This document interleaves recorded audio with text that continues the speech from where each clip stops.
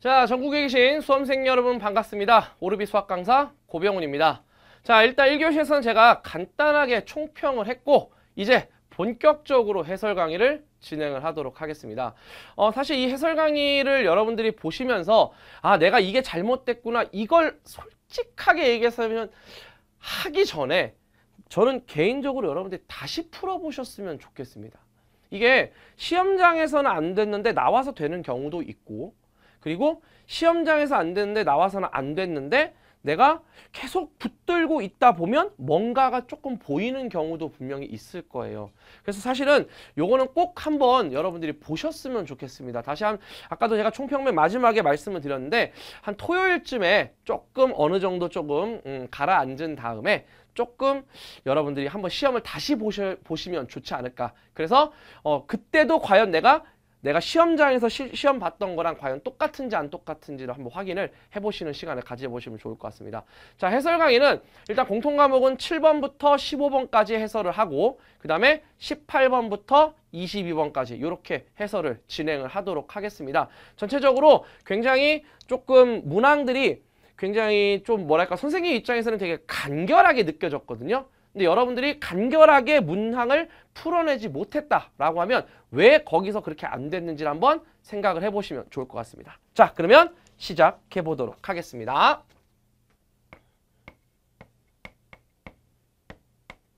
자, 문제 7번부터 가보도록 합니다. 자, 지금 이 절대값 함수의 그래프와 x축, y축으로 둘러싸인 부분의 어, 넓이를 구하세요. 어쨌든 2차 함수로 둘러싸인 부분의 넓이죠. 그럼 결국 6분의 베타 마이너스 알파 세제곱을 써라. 이 공식은 이미 수능에서도 계속 많이 쓰게끔 최근에 출제가 되고 있는 그런 내용입니다.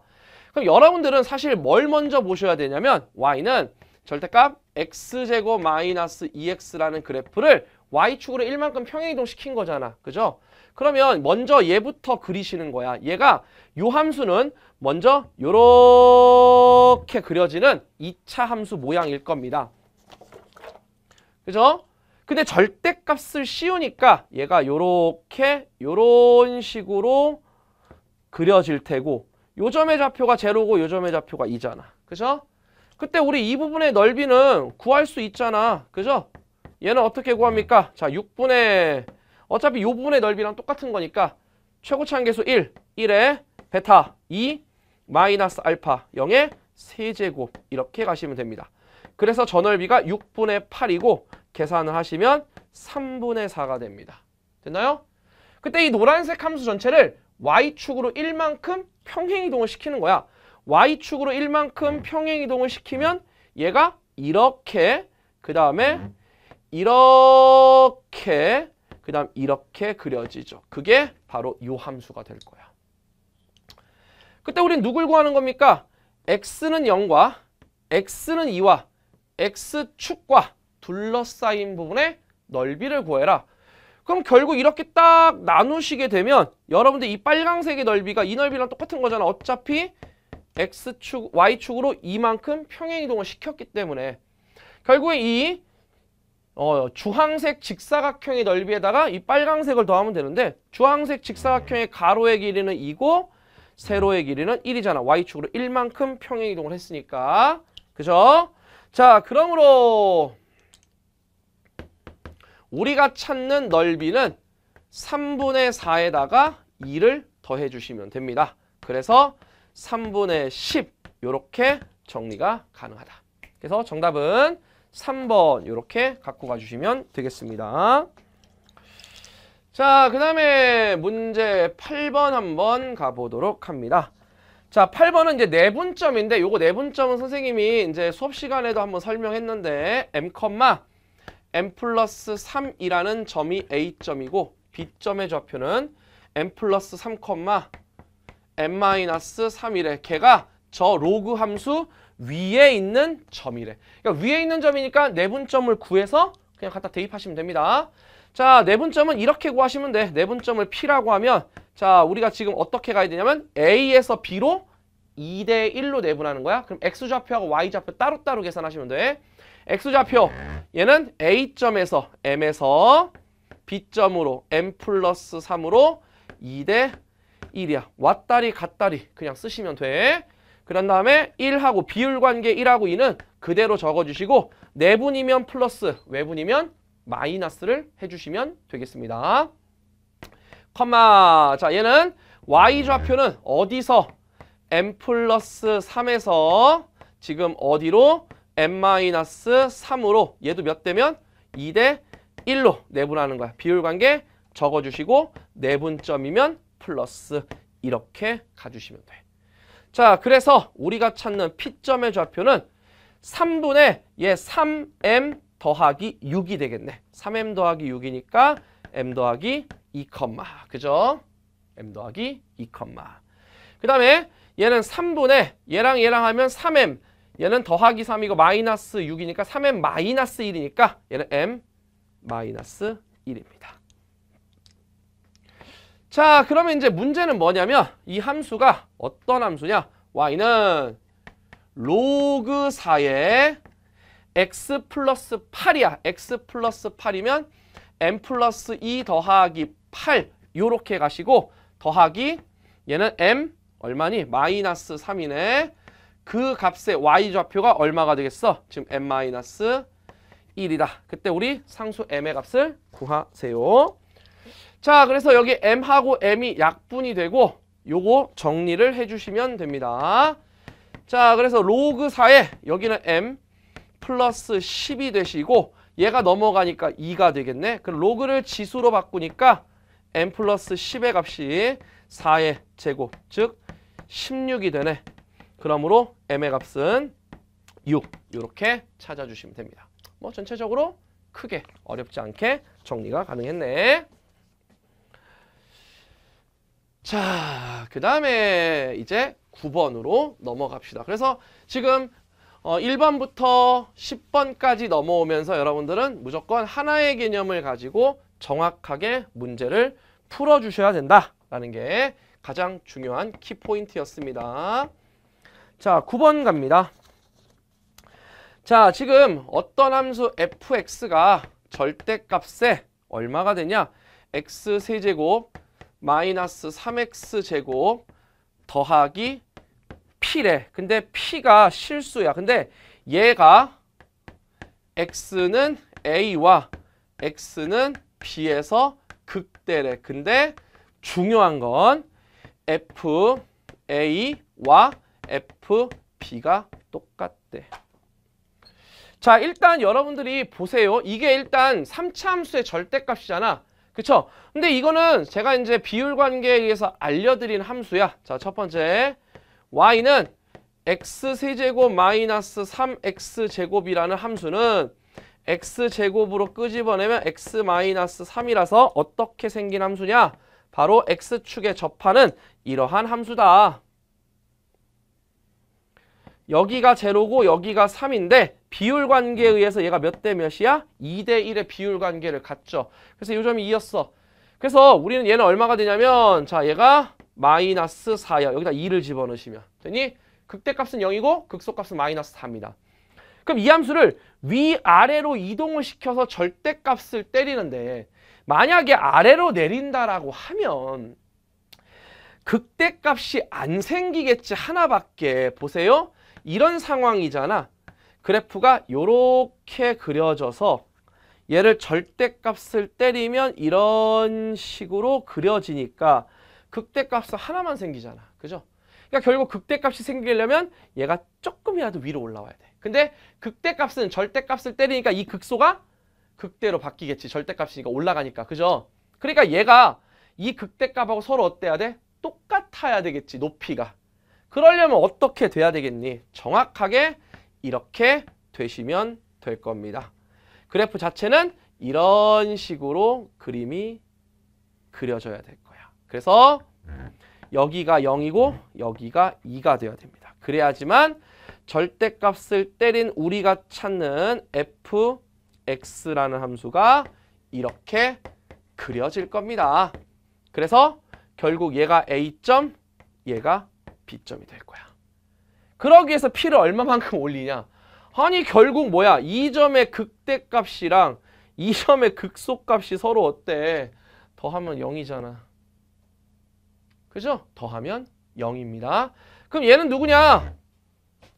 원래 0에서 y축으로 p만큼 올라간 거잖아. 원래 0에서 y축으로 p만큼. 그러면 그냥 p고. 얘는 마이너스 4에서 p만큼 올라간 거잖아. 그죠? 그럼 얘네들 더하면 얼마란 얘기야? 0이라는 얘기지 뭘.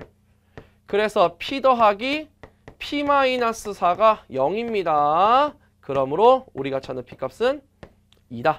이렇게까지 여러분들이 찾아주시면 돼. 그리고 요 점의 좌표도 구할 수 있어. 요 점은 1입니다. 얘하고 얘 딱 중점이니까. 됐죠?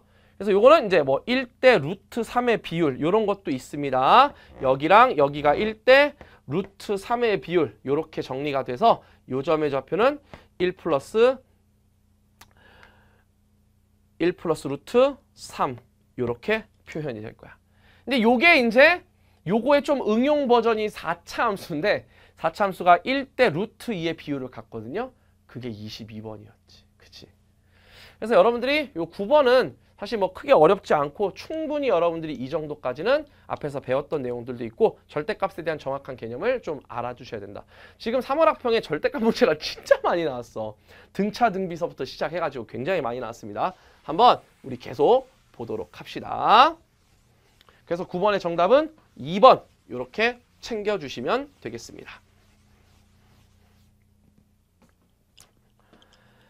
자, 그 다음에 이제 10번 갑니다. 자, 공차가 양수인 등차 수열이래. 좋았어. 공차가 양수. 자, 그럼 가족권을 보니까 절대값 A4 더하기 절대값 A6 그 값이 8이고 자, 나조건을 보시니까 자, 절 시그마 K는 1서부터 9까지 AK 그 값이 27이래. 그때 A 10의 값을 지금부터 구해달라. 자, 일단 우리가 뭐부터 먼저 할 거냐면 조건 나부터 먼저 할 겁니다. 자, 요거 얘는 뭐야? 등차 수열을 첫 항부터 아홉 번째 항까지 합이야. S9이네. 자, 그럼 홀수 개의 합은 가운데 곱하기 S9이면 9 하시면 되죠. 얘는 9 곱하기 가운데 양은 여기다가 하나 더해서 2로 나누시면 돼. 그래서 A5 그 값이 27이다. 아 그래서 A5의 값이 3이야. 근데 공차가 양수거든? 그러면 다섯 번째 항부터는 무조건 플러스야. 그치? 5, 6, 7, 8, 9 얘는 무조건 플러스야. 그럼 얘가 플러스인지 마이너스인지 그걸 결정하면 되는데 상식적으로 뿔뿔이 되겠니? 네, 출제자 의도를 파악해 보면 여러분들이 대충 느낌이 오실 거야. 자, 절대값 A4에 대한 케이스 분류를 해주셔야 합니다. 자, 먼저 첫 번째 A4가 0보다 크거나 같아. 자, 그러면 얘도 양수, 얘도 양수니까 결국 A4 더하기 A6고 어? 잠깐만. A4 더하기 A6? 그럼 얘하고 얘 딱 가운데 항이 누구야? 등차 중앙에서 5네. 그래서 이 A5야. 근데 A5가 3이었으니까 얘가 6이어야 되는데 야 8이라 그랬잖아. 그래서 모순입니다. 안 돼. 당연히 A5가 얼, 아, A4가 얼마가 돼야 돼? 당연히 0보다 작아야지 뭘 말을 해. 그러면 어떻게 되냐? 마이너스 A4 더하기 A6이야. 자, 이거는 그냥 A6에서 A4를 뺀 거야. 그죠? 끝! 몇 칸 떨어져 있어? 두 칸, 6, 4, 두 칸. 공차 2D가 됩니다. 그게 8이었던 거야. 그래서 우리가 찾는 공차 D가 4. 이렇게 정리가 됩니다.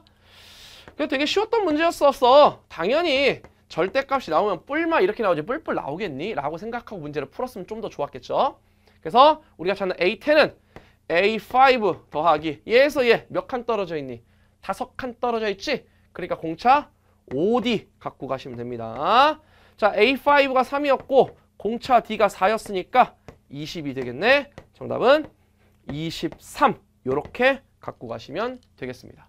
전체적으로 1번부터 10번까지 문제를 풀어오실 때 아주 기본적으로 여러분들이 하나하나 하나씩 정리를 하실 수가 있었다.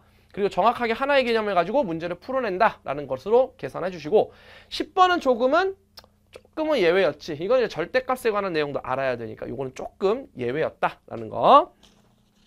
정답은 2번 이렇게 갖고 가주시면 되겠습니다.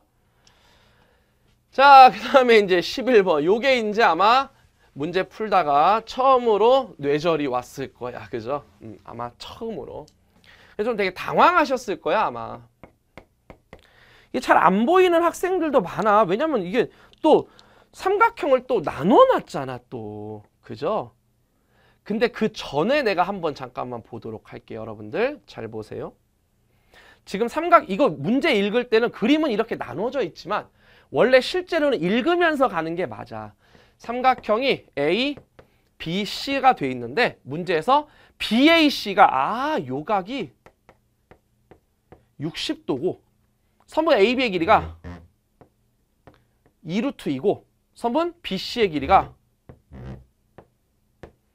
2루트 3이야. 물론 두 변과 그 끼인 각의 세타가 아니라서 J 코사, 코사인 법칙을 못 구한다. 이건 아니야. 왜? 아니 이거는 딱 보면 삼각형에서 이 길이를 A라고 놓으면 코사인 법칙 쓸 수 있는 거거든. 이런 것들을 여러분들이 조금 활용해야 돼. 근데 사실 이거를 구하기가 조금 마지막에도 쉽지 않았어. 왜? 우리가 알고 있던 것처럼 딱 떨어지지 않았거든. 근데 괜찮다니까? 그래서 얘를 딱 보자마자 이 각이 전체가 주어졌다는 거는 당연히 여러분들이 뭘 이용해야 돼? 삼각형 ABC에서 코사인 법칙을 이용할 거야. 그럼 코사인 법칙이니까 얘 제곱하니까 12는 얘 제곱하면 8 더하기 A의 제곱 마이너스 2 곱하기 2루트 2 곱하기 A 곱하기 코사인 60도니까 2분의 1 이렇게 가시겠네. 그래서 요렇게 요렇게 약분하시니까 자 식을 정리합시다. 얘는 A의 제곱 마이너스 2루트 2A 그 다음에 얘가 넘어오니까 마이너스 4 이퀄 제로야. 이거 인수분해 되면 얼마나 좋니? 안 되잖아. 그죠? 그 근해 공식 쓰면 돼. A의 값은 얘 2가 있으니까 루트 2 플러스 마이너스는 안 되겠지. 왜? B-에 루트 2의 제곱 마이너스 AC니까 루트 6이란 말이야. 마이너스면 루트 2가 루트 6보다 작기 때문에 안 됩니다. 이 길을 구한 거야. 그러니까 문제를 읽어야 돼. 그래서 그냥 이 상태로 이루어진 상태에서 문제를 풀려고 하면 사실 조금은 어, 여러분들이 애매한 상황이 닥치게 될 거야. 알겠니? 자, 그 다음에 두 번째. 문제를 읽어봤더니 뭐라 했냐면 삼각형 내부에 점 P점이 있대. 오케이. 좋아. 이 점 P점. 그때 P점에 대해서 각 PBC 아 P B C 이게 30도고 그 다음에 PCB 아 요각이 15도래. 그럼 우리는 사인 30도는 구할 수도 있는데 사인 15도는 못 구하잖아. 근데 각이 두 개가 주어지면 여러분도 어떻게 한다고 배웠지? 그치 요각도 알잖아. 아 그러니까 한각과 대변, 한각과 대변에 의해서 우리가 뭘 구할 수 있어? 야 이거 코사인, 아니 사인 법칙을 이용할 수 있네. 그지? 자 두 번째는 삼각형 PBC에서 자 사인 법칙 씁니다. 자 사인 135도 분의 2루트 3은 사인 30도 분의 선분 PC가 돼. 자 그러면 사인 135도는 사인 45도랑 똑같으니까 2분의 루트 2고 사인 30도는 2분의 1이지. 그래서 2분의 2분의가 없어지고 그 다음에 요거 루트 2하고 얘하고 약 2하고 약분하면 루트 2가 되겠네. 얘. 그죠? 아하. 그래서 우리가 찾는 선분 PC의 길이는 얼마야? 루트 6이다. 이 길이 나왔네. 그때 우리가 구하는 건 뭐냐면 삼각형 APC의 넓이를 구한다. 그러면 두 변과 이 끼인 각만 찾으면 삼각형의 넓이 구하나 우리 이미 이 길이 구해놨잖아. 근데 이건 어떤 수로 구하냐. 이제 그게 막막하지. 그래서 사실은 이제 요거는 어떻게 보면 사실 생각하기가 쉽지가 않아. 그런데 이렇게 보면 돼. 어차피 커다란 삼각형에서 내가 이 각을 세타라고 놓을게. 그럼 이 각하고 이 대변, 이 각하고 이 대변. 또 사인 법칙이 사용이 될 수가 있거든. 삼각형 ABC라는 놈에서 사인 법칙을 또 쓰는 거야. 왜? 어차피 변의 길이는 다 알고 각도 하나를 아니까 하나의 각을 찾고 싶은 거야. 당연히 이제 우리가 이제 어 요 각이 당연히 아는 각이 나오겠지. 그런 것들. 만약에 안 된다라고 하면 어떻게 해야 돼? 안 된다라고 하면 이렇게 직각 삼각형으로 만들어서 뭐 이 높이를 구하던가 해야 되는데 지금 그거 가지고 상황이 안 되지. 어차피 이 각을 찾아야 되니까. 그래서 여러분들이 이 문제 같은 경우는 조금 아마 힘들지 않았을까 개인적으로 생각을 합니다.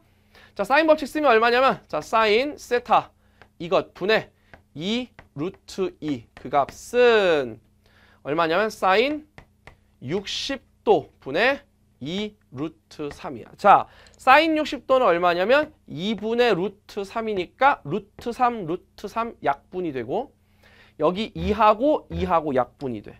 그래서 크로스로 여러분들이 정리를 해주시면 되는데 얘가 요 위로 올라가지. 그래서 얼마가 되냐? 2 사인 세타의 값이 루트 2야. 그래서 우리가 원하던 게 나왔어. 사인 세타의 값이 얼마야? 2분의 루트 2야. 그러므로 세타가 45도다. 결국 얘가 45도니까 요 각의 크기가 얼마가 되는 거야?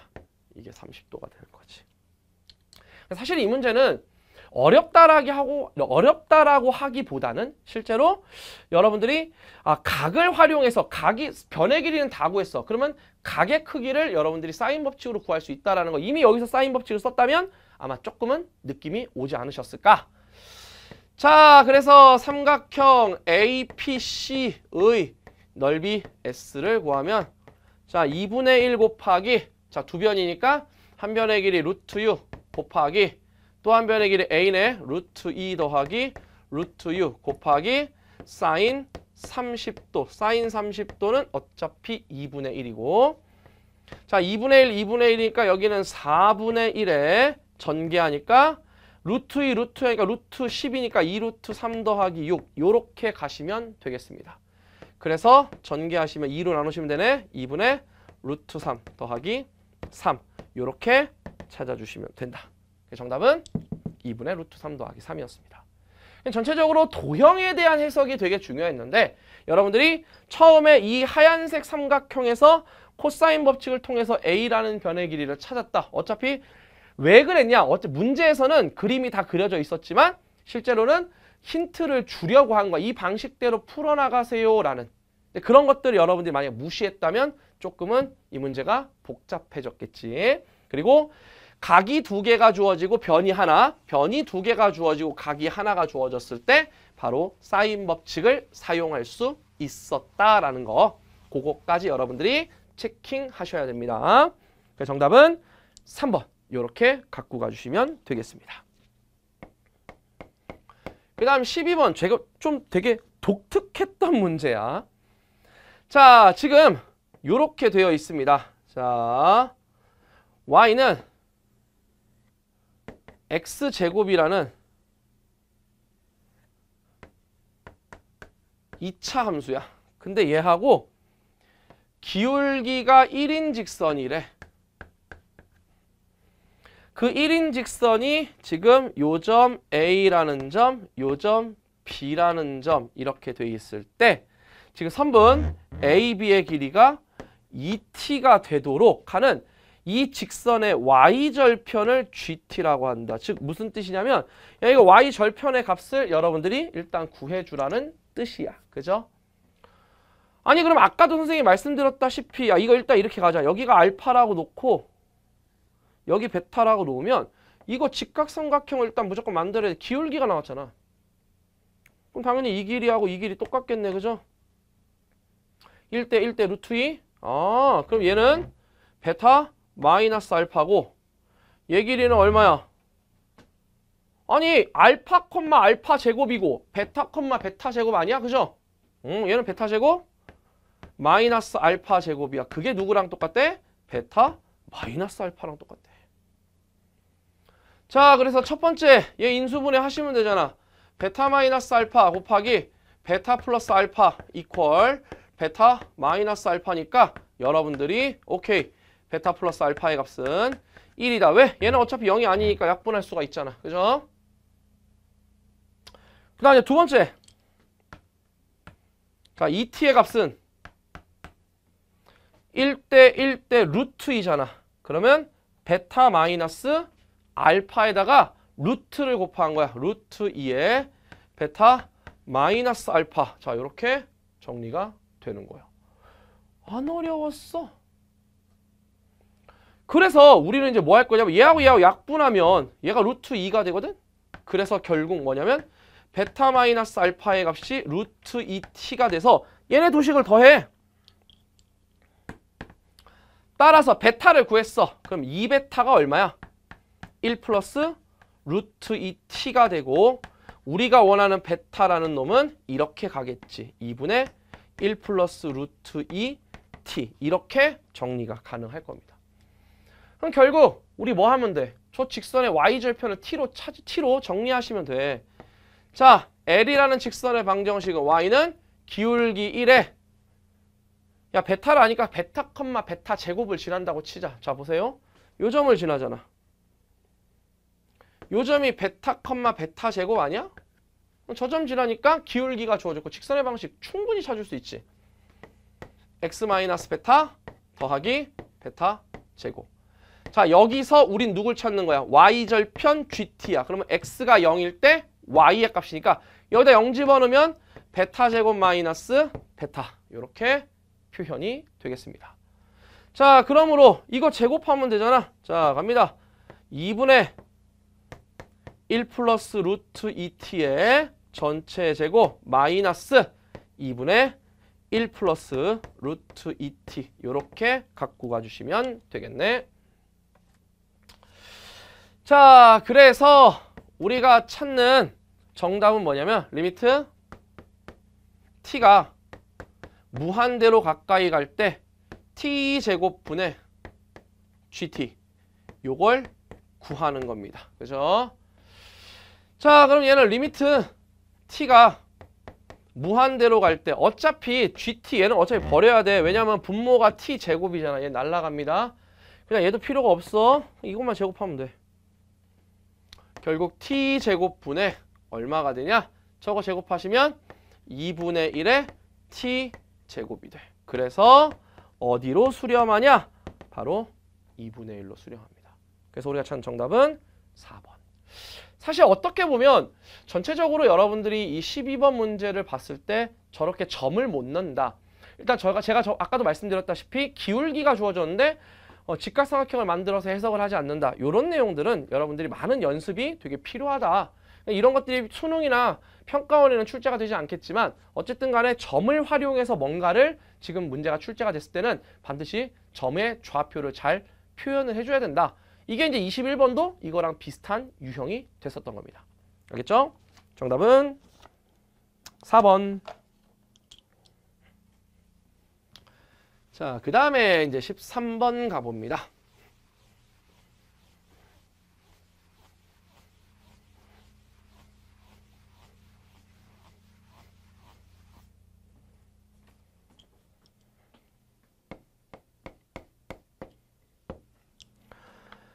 자, 13번은 이게 아까 말씀드렸던 합성함수 문제였습니다. 자, fx가 x제곱 더하기 ax 더하기 b 이렇게 되어 있고 그 다음에 gx가 sin x 삼각함수입니다. 자, 그럴 때 지금 a, b는 상수고 중요한 건 a의 값이 0보다는 크거나 같고 2보다 작거나 같습니다. 자, 가족권에 보시니까 우리가 g의 a 파이의 값의 전체 제곱의 값이 1이고 자, 나조건에 보시면 0부터 x가 2파이까지 범위에서 f 합성 gx 그 값이 0이 되는 모든 근의 합이 2분의 5파이가 되더라. 자, 이게 모든 근의 합이라는 게 나왔을 때는 일단 합성함수니까 당연히 치환을 해주셔야 됩니다. 꼭. 자, 그 전에 일단 먼저 첫 번째부터 갑니다. 첫 번째, 자, 가족건에 의해서 g의 a 파이의 값은 여기다가 a 파이를 집어넣으니까 sin a 파이가 되고 그 값은 플러스 마이너스 1이야. 그럼 sin a 파이 값이 플러스 마이너스 1이 되는 a 값이 0부터 2까지이므로 끝. a 값은 2분의 1 또는 2분의 3입니다. 대부분 학생들이 2분의 1이 나왔기 때문에 2분의 1하고 딱 넘어갔을 거야 분명히. 이것도 따져주긴 해야 돼. 알겠니? 자, 그럼 이제 두 번째로 갑니다. 자, 나조건에 의해서 당연히 요 놈을 치환을 할 겁니다. 왜냐면 fx가 0이 된다라는 거 찾아야 되니까.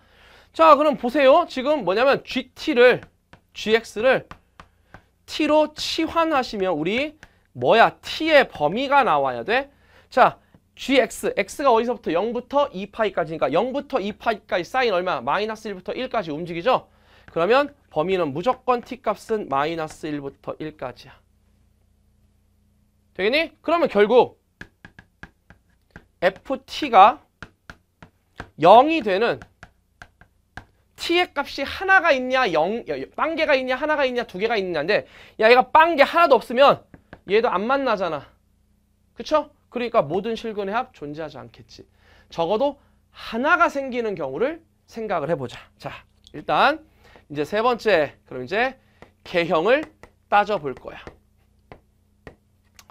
자, 그럼 지금 보면 사인 함수의 그래프가 gx라는 함수는 짠짠 짠짠 그래프가 요렇게 갔다가 음 요렇게 가고 있어. 예를 들어서 여기가 2분의 파이고 여기가 파이고 여기가 2분의 3파이고 여기가 2파이거든. 만약에 t가 한 개밖에 존재하지 않는다. 그러면 여기가 가장 많이 생기겠네. 그래서 요 점과 요 점과 요 점의 합인 얘는 합이 3파이가 되는 거야. 근데 합이 2분의 5파이니까 얘는 안 되네. 그쵸? 자, 만약에 여기에 있다라고 치자. 그럼 이 점과 이 점에 만족하는 근의 합은 요 가운데 곱하기 2 하시면 돼. 얘는 파이니까 얘도 안 돼. 2분의 5파이가 나와야 되니까. 자, 그 다음 만약에 이쪽으로 이렇게 갔어. 그러면 역시 이놈과 이놈의 합인데 걔는 요놈 곱하기 2가 되는 거야. 그래서 3파이가 돼. 그래서 얘도 안 돼. 그러니까 결국에면 무슨 뜻이냐면 모든 실근의 합이 2분의 5파이가 나오려면 절대로 하나가 존재하면 안 돼. t값이. t가 하나일 때는 이거, 이거 아니면 이거 아니면 이거. 뭐 이거 접하는 경우는 2분의 파이, 접하는 경우는 2분의 3파이니까 안 되겠지. 그지? 그러니까 무조건 두 개가 있어야 돼. 그럼 두 개를 어떻게 만들 것이냐. 이게 중요한 거야. 그래서 이제 두 번째는 이제 이건 또 이제 그래프를 또 그려본 사람들이 조금 해본 사람들이지 이것도 사실 어떻게 보면 2분의 3이라는 놈을 니네가 쪼개는 거야. 어떻게? 아 2분의 5파이는 어떻게 만들 수 있어? 2분의 파이 더하기 2파이 이렇게 만들 수 있죠. 음. 2분의 파이 더하기 2파이로도 만들 수 있어. 그러면 2분의 파이 더하기 2파이가 2분의 파이면 여기에 와야 돼. 그래야지 2분의 파이잖아. 그리고 두 개를 더해서 2파이가 돼야 돼? 야, 나오지가 않아. 얘네들 더하면 파이고 얘네들 더하면 3파이고 얘네들을 더해도 3파이야. 절대로 2파이가 나오지 않지. 결국 2분의 파이 더하기 2파이는 될 수가 없는 거야. 그러면 2분의 파이, 2분의 5파이가 될 수 있는 방법은 또 있냐? 있어. 파이 더하기 2분의 3파이가 있지.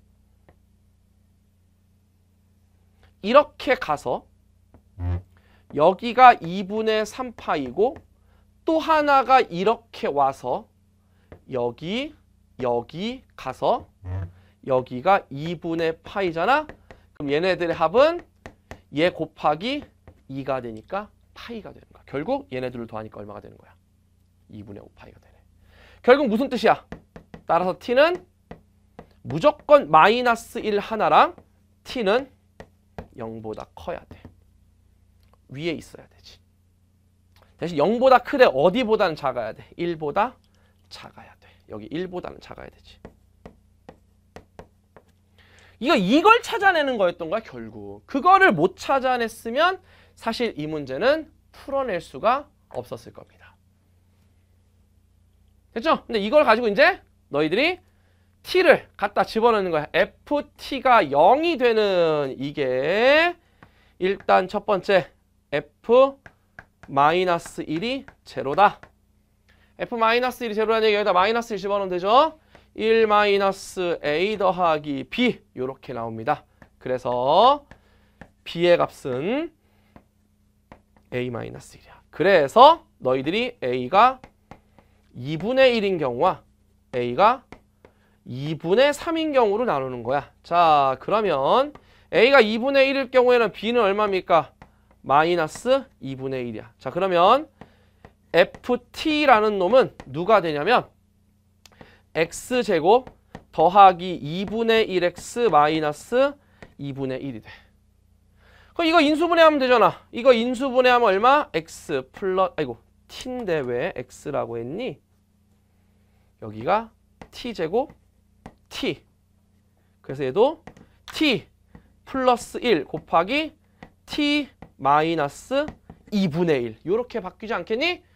그러면 정확하게 좌변식이 되겠네? 그럼 t 값은 마이너스 1 또는 2분의 1 정확하게 0과 1 사이에 있는 거 맞네 그지? 그래서 a가 2분의 1이 되는 거야. 근데 a가 2분의 3이면 b 값은 2분의 1이잖아. 2분의 1은 ft가 t제곱 더하기 2분의 3t 더하기 2분의 1이라서 얘는 t 플러스 1 곱하기 t 플러스 2분의 1이니까 이 밑으로 와야 되는 거잖아. 그럼 합이 2분의 3파이 더하기 3파이가 되겠네. 그죠? 그래서 안 돼. 그래서 우리가 찾는 a의 값은 누가 되는 거야? 2분의 1. b의 값은 마이너스 2분의 1. 요렇게 답이 됩니다. 자, 그래서 네 번째로 우리가 찾는 게 뭐였냐면 F2를 찾는 거였던 것 같아. 그치? 한번 볼게. F2를 찾는 거였어. 자, F2는 4 더하기 2A 더하기 B입니다. 그래서 얘는 4 더하기 1 마이너스 2분의 1이므로 5에서 2분의 1을 빼니까 2분의 9 이렇게 찾아주시면 된다. 정답은 4번.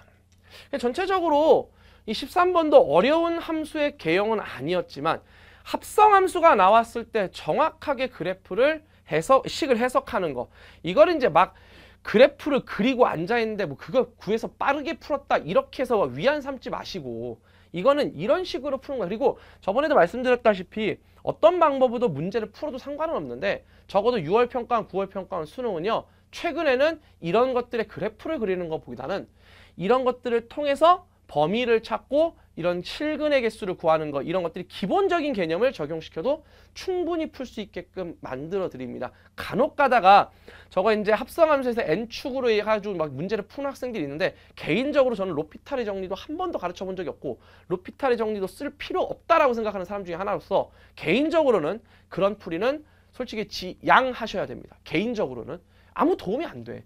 그러니까 자기가 실력이 되게 뛰어나다. 그런 거 정도만 위안을 삼는다면 오케이. 상관없어. 그렇지만 그거를 실제 수능 문제에서 써먹을 수 있는 문제가 과연 몇이나 될까라는 생각을 좀 가져봅니다. 그렇기 때문에 정확하게 우리가 어쨌든 간에 100분 동안 문제를 풀어야 되는데 뭐 40분 풀고 100점을 맞으나 100분을 풀고 100점을 맞으나 그 학생은 똑같은 100점이야 두 학생은.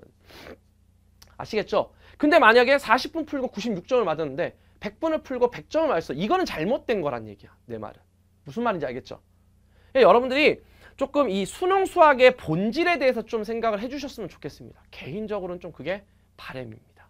뭐 선생님이 뭐 너무 너무너무 기본적인 것만 가르치는 거 아니에요 이렇게 생각하실 수 있겠지만 저는 그게 수학의 정도라고 생각을 합니다. 어쨌든 알겠죠? 정답은 몇 번이냐? 정답은 4번 이렇게 갖고 가시면 되겠습니다. 어 그리고 뭐 김시훈 학생이 뭐 모르겠다라고 하는데 그 모르는 거를 한번 일단 적어두세요. 제가 일단 해설 강의는 진행을 하고 있을 테니까 뭐가 모르는 내용을 거기다가 적어봐. 그러면 내가 읽어보고 틈틈이 날 때 이해를 좀 시켜드리던가 아니면 끝에 모아서 정리를 해주던가 할게요.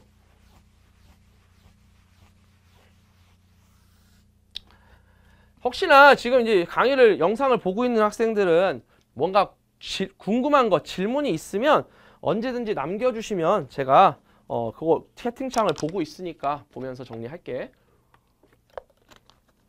자, 그 다음 14번. 뭐 논란까지는 아니지만 14번이 의외로 되게 쉽게 쉽게 여러분들이 좀 정리가 됐었다라는 거. 자, 이것도 참 이런 것들도 제발 부탁인데 세 양수 A, B, K 나오면 A가 0보다 크다, B가 0보다 크다, K가 0보다 크다 일단 갖고 가셔야 돼. 그 다음에 fx가 지금 현재 얼마냐?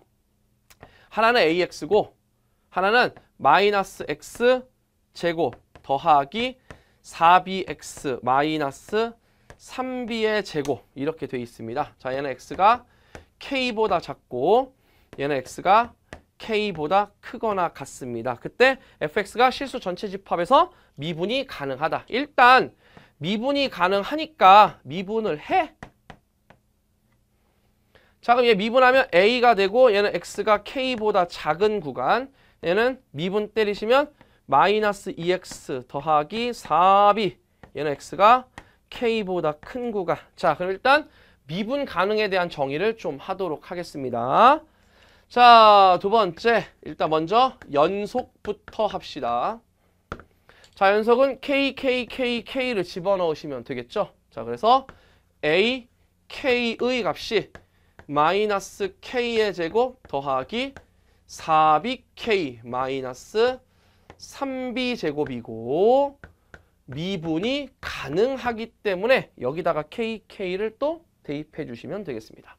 그래서 a의 값은 마이너스 2k 더하기 4b 자 이렇게 정리가 가능하겠네. 그 어쨌든 이거 두 식을 좀 정리를 하려면 여기다 k 곱하면 되잖아. 그럼 ak의 값은 마이너스 2k 제곱 더하기 4bk가 돼서 얘네들이 같으니까 4bk, 4bk가 없어지고 얘가 어 이쪽으로 넘어가고 얘가 이쪽으로 넘어오면 되겠네. 그러므로 k의 제곱의 값은 3b 제곱이 되고 우리가 어차피 k, a, b는 다 양수니까 k의 값은 루트 3의 b. 뭐요 정도까지는 우리가 그냥 미분 가능하다는 조건만 보고도 충분히 찾아낼 수 있는 그런 내용이었습니다. 자, 그러면 이제 세 번째 이제 뭐부터 할 거냐? 기억, 니은, 디귿부터 가도록 하겠습니다. 기억. a가 1이면 f prime k를 구하는 거네. 어차피 미분이 가능하다 했으니까 f prime k는 좌미분계수, 우미분계수 똑같은 거잖아. a네 그냥. 그죠? 음, 1. 맞네. 요거 이렇게 해줄까? a. 그래서 1이야. 오케이. 기역은 참입니다. 그 다음 니은. 지금 k가 3이래. k가 3일 때 a의 값을 구하세요. K가 3이면 a의 값을 구하면 b 구해야 되지. 야, b 가자. k가 3이래. 그럼 b는 얼마입니까? 루트 3이네. 왜냐하면 k가 3이니까 루트 3 곱하기 b가 3이 돼야 되니까 b는 루트 3. 그래서 결국 우리가 찾는 a의 값은 마이너스 6 플러스 4루트 3 이렇게 정리가 가능하네. 그래서 오케이 니은도 참. 그 다음에 다섯 번째 디귿을 풀어야 돼. 자 디귿은 뭐냐면 fk equal f prime k이면 지금 fx하고 x축으로 지금 둘러싸인 부분의 넓이가 얼마래? 3분의 1이냐를 물어보는 거잖아. 그지? 이거는 넓이를 구해 주셔야 돼. 이걸 구하지 않으면 일단 잘못된 거야. 자, 그럼 봐봐. 일단 우리 이 식에서 k 값을 찾아야 되는데 아까 했던 거에서 안 한 것도 있어. 뭐가 있냐면 봐봐. 이거 왜 봐봐. 이, 이거야. 얘랑 얘랑 지금 서로 얘가 fk고 얘가 f'k잖아. 이해되십니까? 자, 봐봐. 내가 지금 얘하고 얘를 같다라고 했는데 얘가 fk고 자 갑니다. 얘가 fk야. 연속이니까 얘는 누가 되는 거야? f'k야. 그럼 얘하고 얘가 같은 것도 되고 얘하고 얘도 같은 것도 돼. 아 그래서 fk가 f'k가 된다는 얘기는 ak가 A가 된다라는 소리야. 근데 헐 A가 0이 아니니까 K는 1이야. K가 1이니까 B는 루트 3분의 1, 즉 3분의 루트 3이 되고 그죠? A의 값은 A의 값은 여기다가 집어넣는 거잖아. 자, 3분의 4 루트 3, 그 다음에 마이너스 2 이렇게 가시면 돼. 자, 그럴 때 우리는 일단 어 둘러싸인 부분의 넓이를 구하는 거래. y는 fx하고. 자, 그러면 일단 보자. 야, 요거 이제 디귿 이어서 갈게. 자, 요렇게 그림을 한번 그려볼게. 여기가 x축이고 여기가 y축이야. 자, k가 1이야. 1. 1보다 작을 때는 AX지. 오케이. AX 그래프 뭐 이런 식으로 그려져. 1일 때 A가 됩니다. 그 다음에 1보다 클 때는 2차 함수네? 그 2차 함수고 자 잠깐만 일로 와봐. 자 얘 정리하면 마이너스에 요거 마이너스에 x제곱 마이너스 4bx 더하기 3b의 제곱이 되므로 얘는 x 마이너스 b, x 마이너스 3b 이렇게 인수분해가 됩니다. 그죠? 그럼 잘 봐. x 마이너스 b는 b가 1보다 작으니까 이쪽에 있고 얘는 b는 왜냐면 루트 3분의 1이니까 그 다음에 얘는 여기가 루트 3이 되겠네. 왜냐면 3b였잖아. 3b. 그러니까 그래프가 여기서 미분 가능하게 되면서 이렇게 가는 거네. 그러니까 결국 여러분들한테 물어보고 싶은 건 뭐냐면 여기가 S1이고 그 다음에 여기가 S2라는 거야. 결국 S1과 S2를 구해서 두 개를 더하라는 얘기인데 자 일단 S1의 값은 2분의 1 곱하기 1 곱하기 자 A가 얼마냐면 3분의 4 루트 3 마이너스 2야. 그래서 S1의 값은 3분의 2 루트 3 마이너스 1 요렇게 정리가 될 겁니다. 자, 그 다음에 이제 두 번째는 1부터 3까지 S2를 적분해야 돼. 자, S2는 바로 적분합시다. 자, 적분 때리시면 마이너스 x 세제곱이 되고 3이 되고 4bx는 더하기 2bx의 제곱이 되고 마이너스 3b 제곱은 3b 제곱 x가 돼서 1부터 루트 3까지 이렇게 여러분들이 정리해 주시면 되겠습니다. 자 그럼 얘는 마이너스 3분의 1에 얘 루트 3 집어넣고 1 집어넣으면 돼. 그럼 루트 3의 세제곱이니까 3루트 3 마이너스 1이고 더하기 2b에 루트 3 제곱에서 1을 제곱 빼니까 3 마이너스 1 되시고 마이너스 3b 제곱에 루트 3 마이너스 1 이렇게 가시면 된다. 자 그러면 어차피 얘가 3분의 루트 3이잖아 b가 자 이거 계산하면 마이너스 3분의 3 루트 3이니까 마이너스 루트 3 더하기 3분의 1. 자 얘는 4b니까 더하기 3분의 4 루트 3이고 그지? 자 b제곱은 b제곱은 얼마야? 이거 루트 3분의 3분의 1이니까 3b제곱은 어차피 1이네. 그러니까 여기는 마이너스 루트 3 더하기 1이야. 그래서 얘는 마이너스 2루트 3이니까 3분의 마이너스 6루트 3이니까 3분의 마이너스 2루트 3이고 얘는 더하기 1 더하기 3분의 1이 됩니다. 그죠? 그래서 우리가 찾는 넓이는 자 여기 디귿으로 갈게. 넓이는 여기 있는 S1 요 놈이랑 여기 있는 S2를 더하면 돼. 근데 야 이거 이거 없어져. 그래서 3분의 1만 남대. 그래서 3분의 1이 답이었던 거야. 됐나요? 그래서 정답이 기억, 니은, 디귿이었어. 사실 이 문제가 그렇게 어려운 문제는 아니었는데 연속과 미분 가능성에 대한 정확한 이해 그 다음에 각 조건에서 시키는 대로 하느냐 안 하느냐가 되게 중요했고 마지막에 이거 적분하는 게 사실 어렵진 않았잖아. 이런 그림을 그려주는 게 일단 중요했고 여러분들 미분 가능이라 그랬으니까 그림 그릴 줄은 아셨겠지. 그래서 전체적으로 이 문제 같은 경우는 그냥 예전에 정말 예전에 2014, 15, 16 이때 조금 쉬웠었던 수능에서 여러분들이 기억, 니은, 디귿 조건을 그냥 주어진 조건대로 해석하는 거 이런 것들이 여기서 원하는 내용이었습니다. 정답은 그래서 기억, 니은, 티귿이 답이었어. 자, 그 다음에 이제 공통 마지막, 객관식 마지막 문제 15번입니다.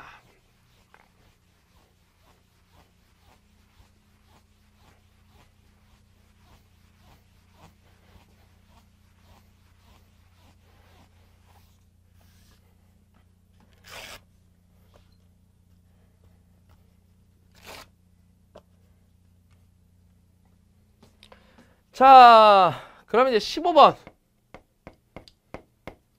가보도록 할게요. 이게 이제 아까 제가 말씀드렸던 역으로 추정하는 게 아니라 하나씩 하나씩 가는 거야.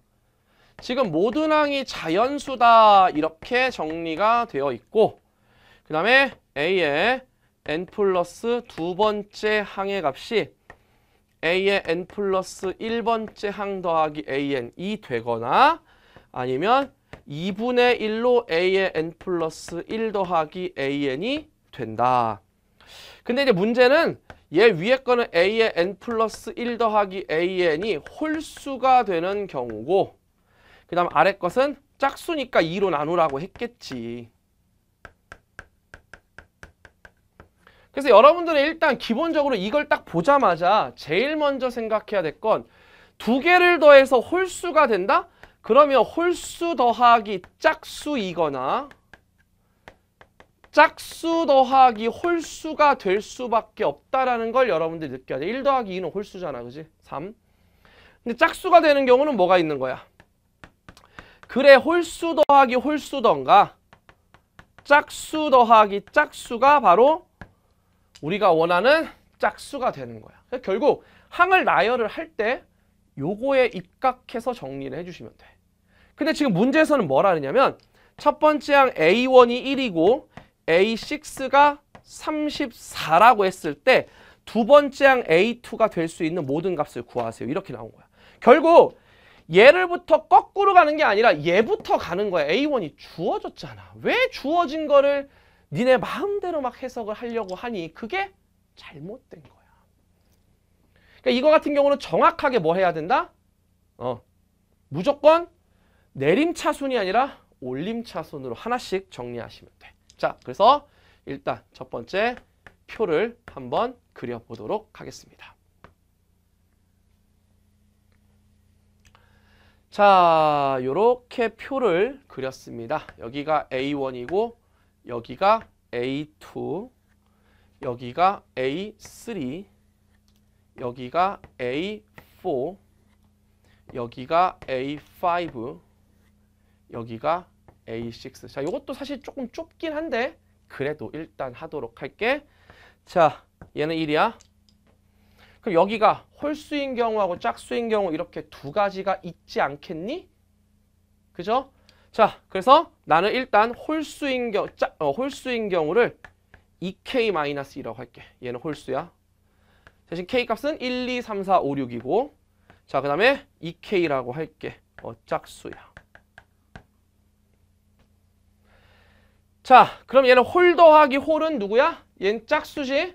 그러면 봐봐. 홀수 더하기 홀수가 짝수니까 이 밑에다 가는 거야. 결국 얘랑 얘랑 더해서 2로 나누셔야 되지. 오케이. 그럼 여기는 K야. 잠깐. 니네 이거 잘 봐야 돼. 이 K는 1, 2, 3, 4, 5, 6, 7이니까 또 여기서 홀수 짝수 나눠야 돼. 그지? 그게 핵심이야. 그래서 여기가 홀수가 되는 경우랑 짝수가 되는 경우로 나눠야 돼. 그치? 자, 얘는 홀수 더하기 짝수는 뭐야? 홀수니까 어, 홀수 더하기 짝수 홀수니까 얘는 그냥 얘네 둘 더한 거랑 똑같네. 자, 여기는 2k 플러스 1. 어차피 지금 k 대신에는 1, 2, 3, 4, 5, 6, 7, 8을 집어넣으니까 얘는 100% 홀수다. 그럼 짝수 더하기 홀수 확실하네? 짝수 더하기 홀수니까 누가 되는 거야? 홀수가 되지. 그럼 얘는 또 두 개 더해. 그럼 얘는 얼마가 되냐? 4K 더하기 1이 돼. 얘가 1, 2, 3, 4, 5, 6, 7, 8이니까 얘도 100% 홀수가 되겠네? 좋았어, 홀수. 자, 그럼 얘는 홀수 더하기 홀수니까 어떻게 해야 돼? 짝수가 되겠지? 그럼 얘네 둘을 더한 다음에 2로 나누면 돼. 그럼 두 개 더하면 6K 더하기 2인데 2로 나누니까 3K 더하기 1 요렇게 정리가 되겠습니다. 그죠? 그럼 잠깐만. 야, 얘는 k 대신에 1, 2, 3, 4, 5, 6이잖아. 그럼 얘가 1일 때는 짝수가 되고 2일 때는 홀수가 되네. 그러니까 이것도 두 개로 또 나눠야 돼. 그치? 근데 야 이게 34잖아. 그 얘가 짝수가 돼야 되지. 오케이? 그러면 얘하고 얘 더해서 얘가 나와야 되는 거잖아. 그럼 얘가 누가 돼야 돼? 홀수가 될 수밖에 없는 거야. 자, 홀수. 얘네들을 더해서 짝수가 되니까 이거 두 개 더해서 뭐해? 또 2로 나눠야 되겠네? 자, 2로 나눕시다. 두 개 더하면 7K 더하기 2. 걔를 2로 나누는 거야. 2분의 7K 더하기 2야. 자, 그래서 갖다 곱하니까 7K가 얘는 68에서 2를 빼니까 66이지. 안 돼! K는 내가 자연수라 했잖아. 이미 끝난 거야, 이 밑에는. 결국 여기서 나타나는 거다. 그런 것들을 실제로 여러분들이 해서 정리를 하셔야 되는 게 맞다라는 거. 자, 얘 같은 경우 홀수 더하기 홀수니까 얘가 짝수지. 짝수면 두 개 더해서 2로 나누시면 돼. 자, 2분의 3K 마이너스 1. 자, 그 다음에 여기서는 홀수 더하기 짝수니까 얘가 홀수가 되겠지. 홀수 더하기 짝수 홀수니까 그냥 두 개 더한 거 그냥 그대로 가면 돼. 얼마야? 3K 마이너스 1이야. 자, 그럼 잘 봐. 야, 얘도 마찬가지야. 얘도 홀수인 경우하고 짝수인 경우 이렇게 두 가지가 나오겠지. 생각을 해봐. 왜냐면 K 대신에 1을 집어넣으면 얘가 얼마야? 야, K 대신에 1을 집어넣으시면 얘가 어, 얼마냐면 2. K 대신 2 집어넣으면 5. 그러니까 짝수, 홀수 이것도 두 개로 또 나눠야 돼. 홀, 짝. 자, 근데 만약에 봐봐. 얘가 만약에 야 이게 항이 자연수여야 돼. 근데 자 얘가 1 집어넣으면 3 빼기 1이니까 2가 돼서 약분이 가능해. 근데 아까처럼 얘가 만약에 2를 집어넣어서 5면 2분의 5 안 되겠지. 그러니까 무조건 얘는 짝수가 될 수밖에 없어. 많이 해볼까? 해볼게. k 대신 1 집어넣으면 2분의 2니까 홀수고 k 대신 3 집어넣으면 2분의 어 3, 2, 3 집어넣으면 8이니까 4가 되겠지. 그치? 그 다음에 1, 2, 3. 3 주면 9에서 1 빼니까 8이잖아. 8에서 2 나오니까 4. 그러니까 얘도 홀수 짝수로 또 나눠줄 수가 있겠지. 그렇지. 이렇게 나눠지는 거야. 그러니까 이게 별로 별것도 아닌데 굉장히 복잡해. 여기서부터 계속 나눠지니까. 그래서 여기는 이제부터 조금 어, 위로 와서 좀 정리를 좀 해보도록 할게. 자 여기서부터 몇 칸 안 남았어 이제. 자 여기가 A5가 되고 여기가 A6입니다. 자 그럼 일단 먼저 홀수 더하기 홀수니까 얘는 짝수가 된단 말이야. 그럼 얘네 둘을 더해서 2로 나누셔야 돼. 결국 4분의 얘는 얼마가 돼야 되냐? 얘 2분의 2K니까 5K 마이너스 1이 돼야 돼. 아니 여기서 이렇게 왔어. 그럼 봐봐. 얘가 뭔지는 모르지만 얘가 짝수가 돼야 돼. 얘가 얘가 홀수잖아. 그치? 얘가 짝수가 되려면 얘는 누가 돼야 돼? 당연히 홀수가 될 수밖에 없겠네. 그치? 자, 그래서 여기서 나타난 건 홀수니까 얘네 둘을 더해서 홀수 더하기 홀수 얘 짝수니까 2로 나눠줘야 돼. 얘는 4분의 6K-2야. 그래서 얘는 4분의 11K 마이너스 3이다. 그게 34가 되어야 합니다. 자 그러면 11K 마이너스 3이 얘 얼마야? 4 곱하니까 4, 136이다. 그래서 11K의 값이 139가 돼서 얘는 안 되겠네. 그치? 자, 그 다음에 이제 여기서 나타났어. 얘가 짝수야. 그럼 홀수 더하기 짝수면 누가 되는 거야? 어, 홀수 더하기 짝수면 홀수가 되겠지. 그럼 두 개를 그냥 더하면 돼. 그럼 얼마냐면 2분의 얘가 얼마냐면 5K 마이너스 1 요렇게 될 겁니다. 야 근데 얘가 짝수고 얘가 뭐가 돼야지 얘가 짝수가 되겠어. 당연히 얘도 짝수가 돼야 될 거야. 그러니까 결국 얘네 둘을 더한 다음에 2로 또 나누셔야겠지. 근데 얘는 2분의 얼마가 되냐면 얘네 둘 더하니까 8K 마이너스이니까 얘는 4K 마이너스 1이야. 그 값이 34다. 그치? 자, 그러면 얘 갖다 곱하니까 4K 마이너스 1의 값이 68이야. 그래서 역시 4K의 값이 69다. 그러니까 얘도 안 되겠네. 그치? 자, 그러면 이제 여기서 가는 거야. 자, 얘가 짝수 홀수잖아. 짝수 더하기 홀수가 얼마가 되는 거야? 홀수가 되니까 얘네 둘 더하면 돼. 그럼 얘는 4K 마이너스 1이지. 그 홀수 더하기 뭐가 짝수가 돼야 돼? 홀수가 되겠지. 얘도 홀수가 될 수밖에 없음.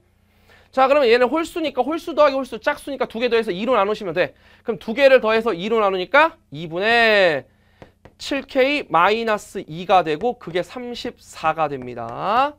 그래서 7K 마이너스 2의 값이 68이니까 오케이 7K의 값이 70이다. 좋아. K 값은 10. 일단 하나 나왔어. 요건 이제 지울까? 요건 필요가 없으니까. 그지 얘들아. 지울게. 자 여기서 이제 짝수가 되는 경우가 있어. 자 그러면 짝수 더하기 짝수니까 당연히 짝수가 되겠지. 그럼 얘네 둘을 더해서 2로 나눠야 되겠네. 그럼 2분의 얼마가 돼? 4K 마이너스 1.